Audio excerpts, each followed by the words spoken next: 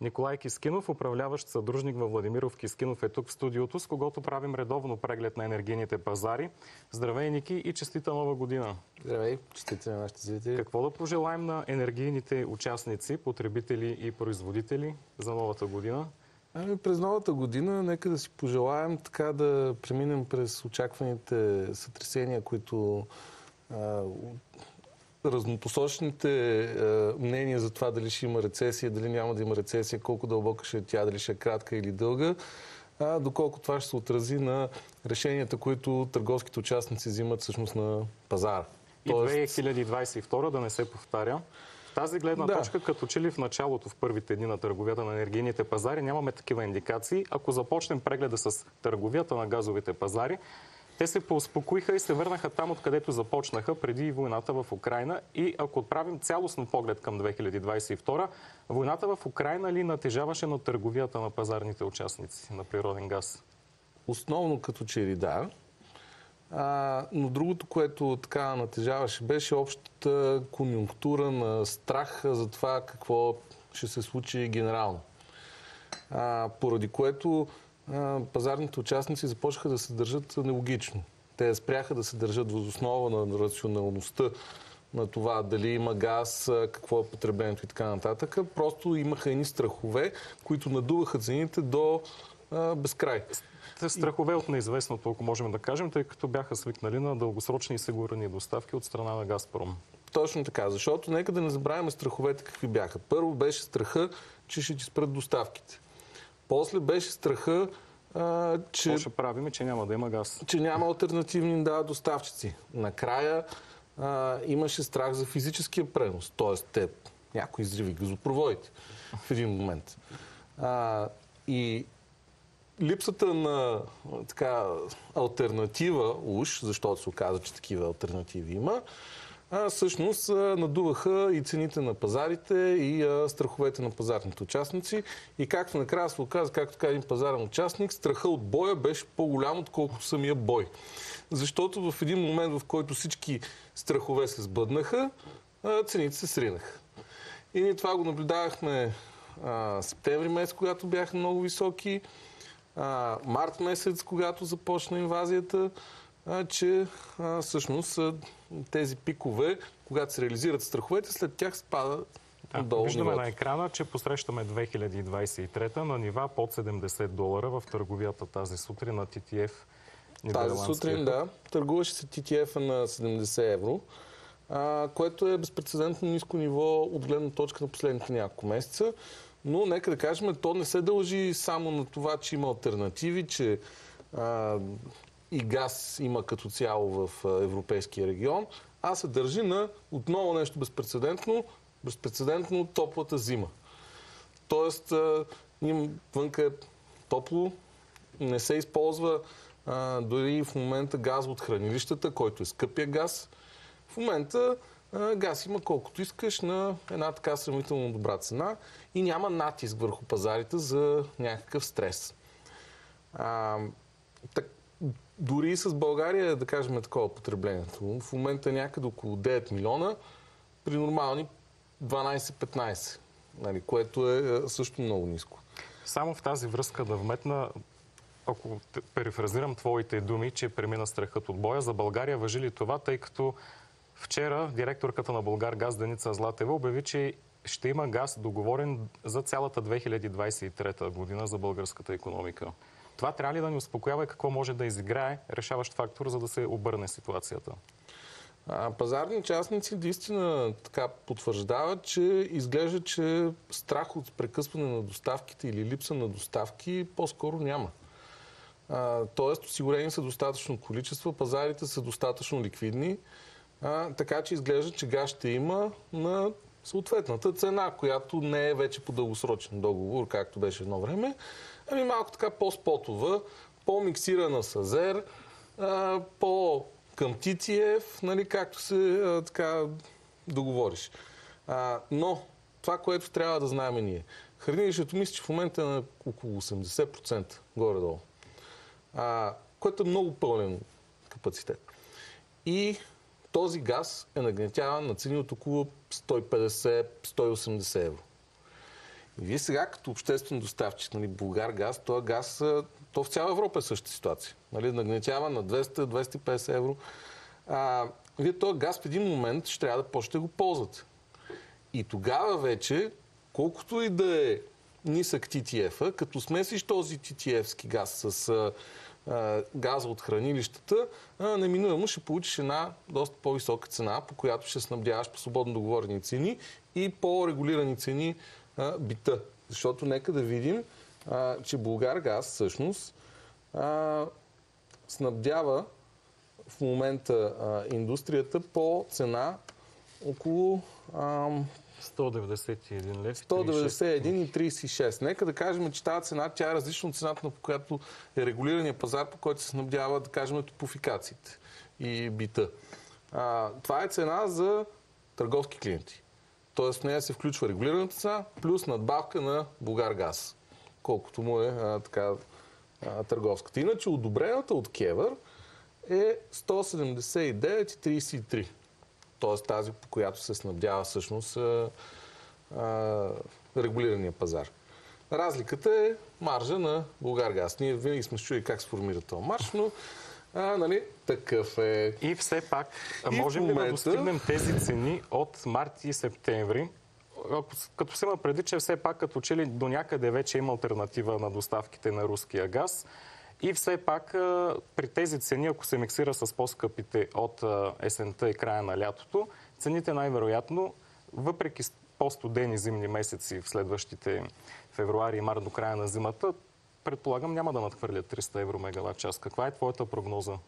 Няма да надхвърлят 300 евро и според мен, но ще се придържат, особено като стане сега малко по-студено, към високите граници на ам, за този период от типа, например, някъде според мен около може би около 140-150 евро. Нали? Зависи колко студено стане и какъв е натиска върху съответно пазарите. Защото то, да кажем, ако има 100 единици нали, газ в региона, потреблението е 110, нали, тя, борбата за тия 10 всъщност повдига пазарите. Тъй като времето и... ни напредва, само прощавай да те върна на отново на ситуацията у нас. Това, което беше договорено с Турция и обявено, че ще договаряме на газ, Турция ни дава достъп до 5 от LNG терминалите си, три от които са държавни, два частни. Та това би ли спомогнало да имаме ние по-ефтин газ тази година? Това би спомогнало всъщност ние да можем да търсим а, доставки от LNG на терминали в а, Турция и да получаваме газа от границата. тоест, каквото си договорим а, като LNG, а, нали, това ще и а, получим. А, историческо е това споразумение, защото до момента някакси а, турската държава не беше особено ентусизирана да предоставя достъп на България до газопреносната си система. Някакси така имаше като мълчалив отказ. Нещо подобно. А, докато сега това е много добра стъпка и дава възможност за доставки на физически вече така на природен газ от множество източници. Аз приветствам тази инициатива. Това предполагаме свързано с политиката на Турция да се превърне в газов хъб съвместно тук с Газпром. Но каква би била ролята тогава на ЛНГ терминала в Бургас Александрополис и какво е мястото на България, която е съакционер в този проект? Ами вероятно. За българския газов Просто пазар. още едно трасе. А, нали, защото никой не е казал, че този газ, който ти ще потребяваш, да кажем, от Турция или от Гърция, е за вътрешно снабдяване. Той, може, той е просто инфраструктура, която се ползва, за да се пренасят газ по енергийните магистрали из региона и Европа. И в крайна сметка има ли опасност, ние това го коментирахме и предния път, и през Гърция, и през Турция да попадне чрез микс и руски газ? А, разбира се, то най-вероятно чисто физически, когато си договорите сделка до терминал LNG в Турция, най-вероятно получавате някакъв пребоисен газ така на границата, който дали е руски, дали е LNG, нали, вие много не знаете. А, но то няма и значение, защото така работят газопреносните системи. С така наречените слапови сделки. И сега, ако преминем на търговията на електроенергийните борси, там пък обратното на търговията на а, природен газ в Европа има поскъпване в първите дни на годината. На какво се дължат тези по-високи цени? Нека да кажем първо колко ниски бяха те стигнаха до 7 лева, да кажем, в събота имаше такава цена по едно време. А, причината цените на електрическата енергия така да отбелязват рекордно ниски стойности е, че всъщност индустрията не работи и отново навънка е пролет. А, така че а, това е причината. Както виждаме, в момента, в който а, така, работната седмица започна, цените отново достигнаха до около 460 лева, а, да кажем за пикова енергия, 367 за базова. Но ако погледнем исторически, нека да кажем, че средната цена за 2022 година е 494 лева за базова енергия, а за декември е 482. А, това са така средните цени. Сега, ние ако трябва да дадем прогноза, според мен това са цените, които в момента наблюдаваме, от които ще тръгне нашия възход нагоре. Защото в следващите месеци, заедно с а, промяната на времето а, и повишаване на търсенето, твърде вероятно е а, ние да достигнем отново нормалните за този а, период от годината цени от около 800 до 1000, които са ужасни но такава е пазарната конъюнктура в момента, че ни очакваме такива цени. Много се надяваме да не видим цени от около 1800 лева. Защото тогава цикъла на ликвидност в самата енергетика вероятно ще почне да се нарушава и ще видим много неприятни ситуации. Така че да се надяваме цените да останат под 1000 лева. Ако погледнем по-генерално, какво движеше цените на електроенергията през 2023 и в частност и България? А, движеше ги същото, което движи газа. Пак страх.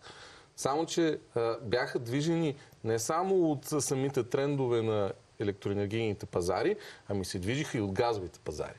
И страха от газовите пазари преливаше в електроенергийните, както и а, имаше доста сериозни спекулации от така сериозни фондове с фьючерсите на електроенергийните пазари. А, тоест, нали, когато си поръчваш напред електрическа енергия, това даваше възможност за голямо заиграване. Той в момента може.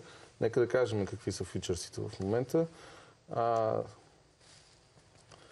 за електрическата енергия за февруари са около 220 евро, за Q2 240 евро. Аз мятам, че това са така сравнително стартиращи нива, а не толкова да изразяват устойчивия тренд. Но ако видим пък цените по двустранните договори на IBEX, които на нас са ни до голяма степен референтни за това какви са очакванията на, на пазара, там цените пък действително са някъде около 435 лева, 460, а, което според мен е така ниско ниво за това, което очакваме да се случи. И сега, на нас, като а, така, анализатори и прогнозисти, а, си задаваме следния въпрос.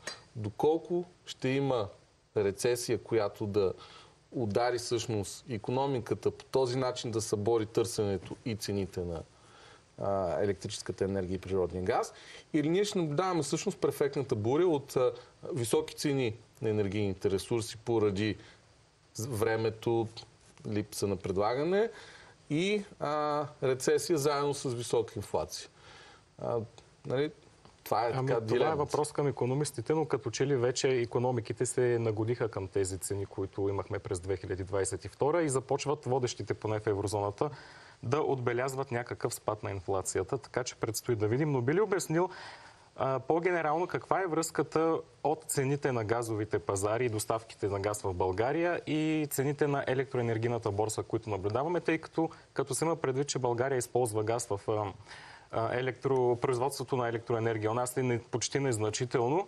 Как тези страхове се пренесоха и от газа върху електроенергията? Ами пренесоха се не по вътрешни причини, а по външни причини. Просто когато формираш в Гърция енергиен микс от газ, и енергийните ти пазари са свързани, обединени електроенергийните Точно пазари. Това да питам. Тази енергийна свързаност на пазарите изигра ли роля в повишаването на цените на електроенергия у нас? Зависи от периода през годината. Един път изиграва а, фактор да повдига цените в региона, обаче много често виждаме как възобновяемите източници в Гърция събарят цените в региона, защото идва ефтина енергия и а, подбива. всичко зависи от капацитетите по границите, тъй като капацитетът по границите все пак има някакъв лимит. Той не може безкрайно много да се отразява на българския пазар. Ние видяхме, че си реализираме ни регионални нива.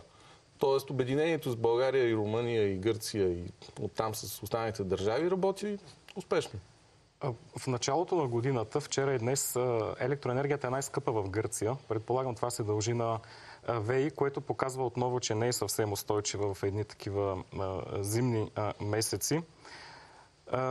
Вчера ЕСО отчете така едни добри данни за 2022, според които потреблението у нас вътрешното е намаляло. За сметка на това пък износът бележи ръст с 25% на годишна база, най-вероятно заради тази свързаност, която разширихме през 2022. Делът на базовите централи в енергийния баланс на страната расте. Какво трябва да ни каже това и какво да очакваме през 2023 след края на зимния период?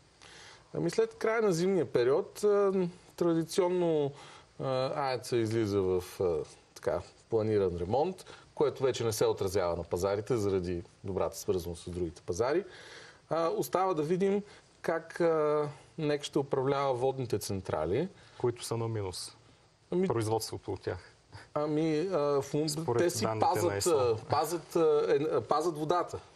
Защото а, нали, никой не знае зимата какво ще стане и колко ще е пълноводна годината, така че те традиционно си ги пазят. А, Марица 2 наблюдаваме, че се заиграва по пазарите, т.е. те си търгуват енергията, за тях е изключително добра пазарната конъюнктура. АЕЦ Козлодуй го виждаме как а, работи на пазара ден напред, което е обосновано, защото от него се финансира фонд сигурност на електроенергийната система, т.е. той би трябвало да дебне спотовите пазари, а не двустранни договори. А, и остава също така да видим какво ще е производство от възобновяеми източници, които се движат така традиционно добре. И тъй като времето ни почти изтече съвсем накратко, можем ли да очакваме изненади от пазара на въглеродни емисии? За него все не остава време да говорим в последните издания на Чекбокс. Пазара на емисии на парникови газове, той се държи така някакси в свой собствен свят малко. Пазарите на газ и на електрическа енергия правят разни такива движения, отклонения, докато пазара на емисии той някакси като ли изгубил връзка с тях. Но все пак връзка има. А, и тази връзка най-често е свързана с това, доколко се очаква економическото производство нали, да, да спада или да се увеличава. Ако гледаме сега емисиите на парникови газове, изглежда, че те са в техния си така висок диапазон, но все пак не най-високия.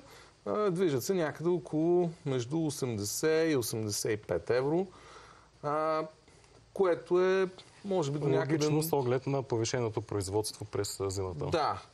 А, интересното е, че ако съдим по тия данни, не очакваме някаква тежка рецесия.